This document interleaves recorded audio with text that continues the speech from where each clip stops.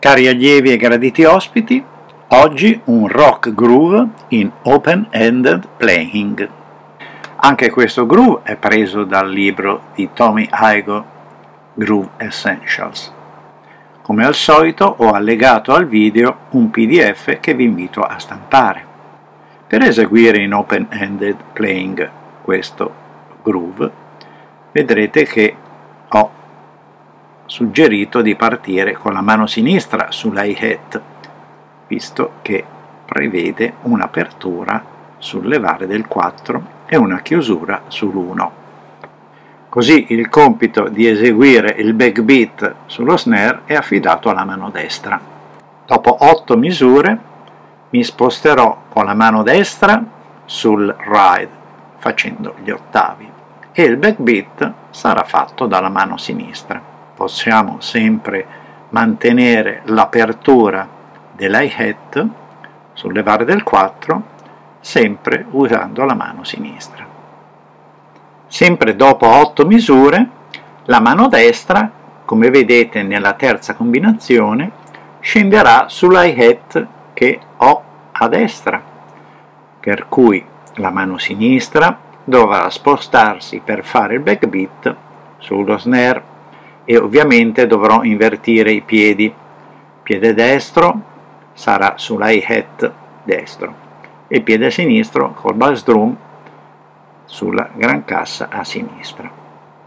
Nella quarta combinazione, sempre dopo 8 misure, la mano sinistra si sposta sul ride sinistro, la mano destra ritorna sullo snare a fare il backbeat il piede sinistro è sempre sulla gran cassa a sinistra e il piede destro rimane sul hi-hat a destra.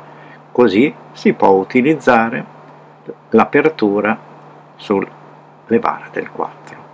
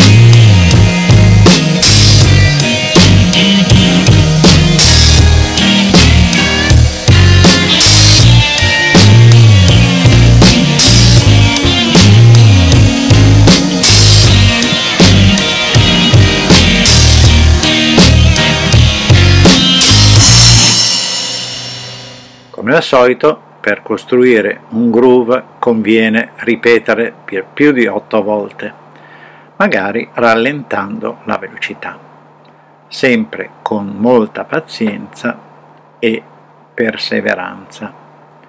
Per cui vi auguro un buon lavoro. Alla prossima!